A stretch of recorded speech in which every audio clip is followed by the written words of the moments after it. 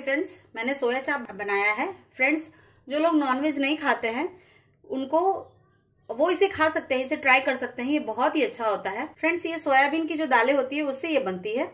और सोयाबीन हर किसी के लिए बहुत ही बढ़िया होता है। फ्रेंड्स इसे बना के आप ज़रूर ट्राई कीजिएगा। मैं बिल्कुल रेस्टोरेंट स्टाइल बना रही हूँ और घर में बनाते हैं फ्रेंड्स ये उससे भी ज़्यादा टेस्टी बन के तैयार होता है।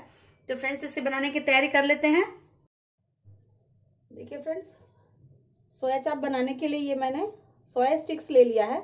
सोया स्टिक्स फ्रेंड्स मार्केट में इजीली अवेलेबल है। इसको बनाने से पहले आप कुछ देर फ्रिज में से निकाल के इसको रख दीजिएगा। और ये देखिए फ्रेंड्स इसको हम ऐसे निकाल लेंगे हम। और ऐसे फ्रेंड्स अपने सारे स्टिक्स हम इसमें से निकाल लेंगे। फ्रेंड्स इसको क्या करते हैं हम? काट लेते हैं ये एक एक मोटा फ्रेंड्स काटेंगे। रेसिपीज़ इसकी बहुत सारी हैं, सबके बनाने के तरीके भी अपने अलग अलग हैं। सारे सोया चाप को मैंने काट लिया है, अब इसको हम डीप फ्राई कर लेते हैं फ्रेंड्स देखिए फ्रेंड्स सोया चाप को फ्राई करने के लिए मैंने गैस पे कढ़ाई रख दिया है, मेरा ऑयल भी गर्म हो चुका है। अब इसमें जितने सोया चाप आएँगे, उतने मैं ऐड करूँगी, क्योंकि हमारे को सोया सैलो फ्राई करना है फ्रेंड्स डीप फ्राई करना नहीं है तो एक बार में जितने आते हैं उतने हम इसमें फ्राई करेंगे।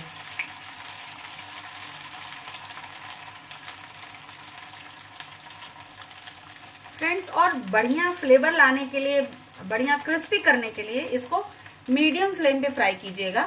हाई फ्लेम पे मत कीजिएगा, वरना ये अच्छे से फ्राई भी नहीं हो पाएगा और इसके परत जो है वो अच्छे से खुलेंगे नहीं। देखिए फ्रेंड्स एक तरफ़ ये फ्राई हो चुका है, इसको पलट देते हैं हम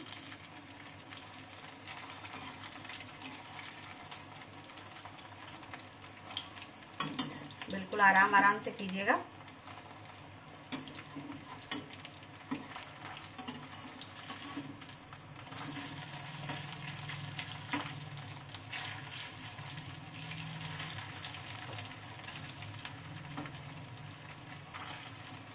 फ्रेंड्स आपको पता है, सोयाबीन हर किसी के लिए फ़ायदेमंद है।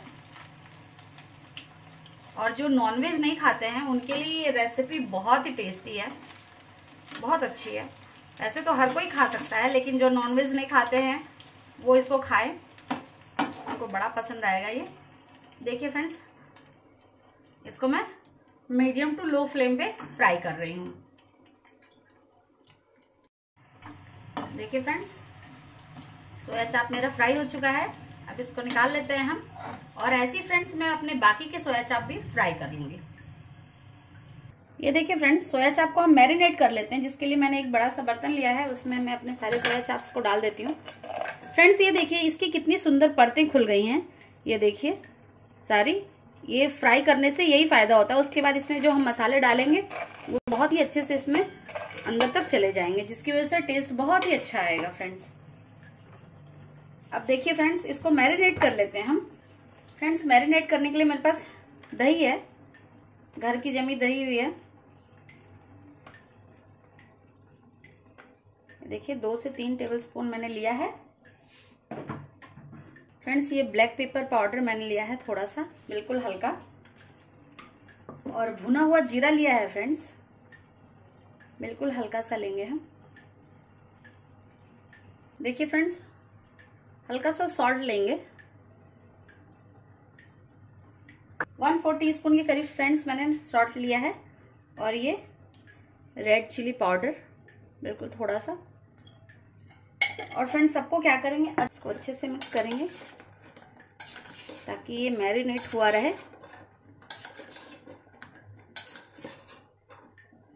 तो हमारा बहुत ही अच्छा बनेगा सोया चाप फ्रेंड्स ये देखिए, अब इसको हम ढक के एक तरफ़ रख देते हैं फ्रेंड्स और अपनी ग्रेवी बना लेते हैं। ये देखिए फ्रेंड्स ये मैंने लहसुन, प्याज और अदरक और हरी मिर्च का पेस्ट बना रखा है। और ये मैंने टमाटर की प्यूरी बना रखी है। अब फ्रेंड्स, सोया चाप की ग्रेवी हम बना लेते हैं। इसको तड़का मारने की तैयारी कर लेते हैं हम।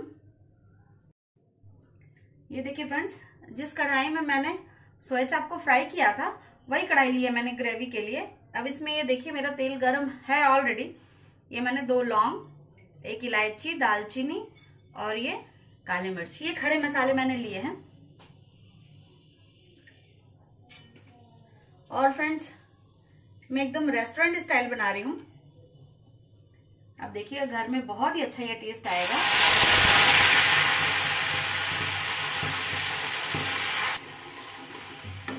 ये देखिए फ्रेंड्स ये मैंने प्याज लहसुन वाली जो मैंने प्यूरी बना रखी थी, उसको डाल दिया है मैंने कढ़ाई में। अब इसको दो से तीन मिनट फ्राई करेंगे हम, ताकि जो प्याज का कच्चापन है, लहसुन का कच्चापन है, वो खत्म हो जाए।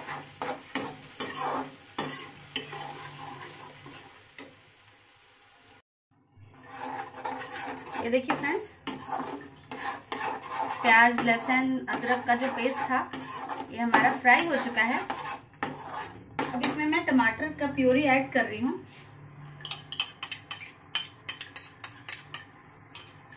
इसको अच्छे से मिक्स करेंगे फ्रेंड्स और फ्रेंड्स टमाटर का प्योरी ऐड करते हैं इसमें सॉल्ट ऐड करेंगे, ताकि जो टमाटर है वो अच्छे से अपना पानी छोड़ दे। और मसाले हमारे अच्छे से फ्राई हो जाए। फ्रेंड्स सॉल्ट आप अपने टेस्ट के अकॉर्डिंग ऐड कीजिएगा। फ्रेंड्स, इसको तीन से चार मिनट के लिए हम फ्राई करेंगे। टमाटर हमारा अच्छे से फ्राई हो जाए। देखिए फ्रेंड्स, टमाटर भी हमारा फ्राई हो चुका है। अब इसमें फ्रेंड्स मसाले ऐड करेंगे हम। फ्रेंड्स, मसाले में हमने डेढ़ सारा धनिया पाउडर ऐड करना है। ये देखिए। फ्रेंड्स, दो टीस्पून मैंने धनिया पाउडर लिया है। हल्दी पाउडर लिया है मैंने, वन फोर टीस्पून। ये देखिए फ्रेंड्स, मैंने वन फोर टीस्पून जीरा पाउडर लिया है। तीखा आप जैसा खाना पसंद करें उस हिसाब से आप मिर्च ऐड कीजिएगा।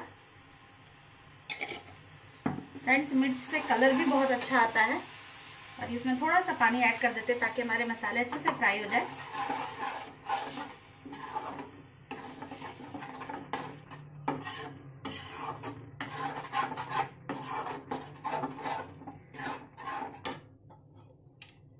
थोड़ा सा गरम मसाला ऐड करेंगे हम।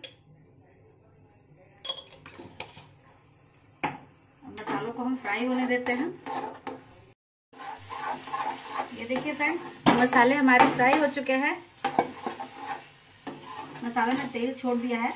ये देखिए साइड साइड से हमारे।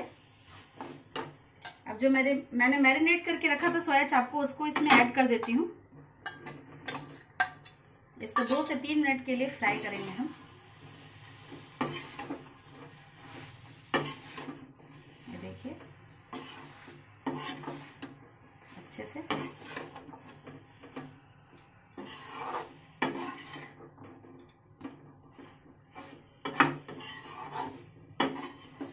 फ्रेंड्स अगर आपने मेरे इस चैनल को अभी तक सब्सक्राइब नहीं किया है तो इसे जल्दी से सब्सक्राइब कर लीजिए और बगल में जो बेल आइकन है, उसे प्रेस करना बिल्कुल मत भूलिएगा, ताकि आपको मेरे सारे नए वीडियोस के नोटिफिकेशन सबसे पहले मिल सके। फ्रेंड्स एक से दो मिनट इसको फ्राई करने के बाद मैं इसमें थोड़ा सा पानी ऐड करूँगी।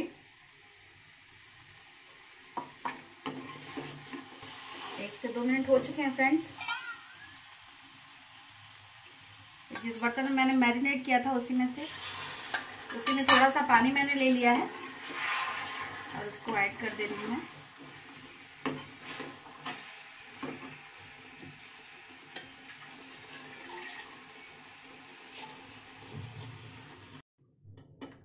ये देखिए फ्रेंड्स मैंने इसमें पानी ऐड कर दिया है।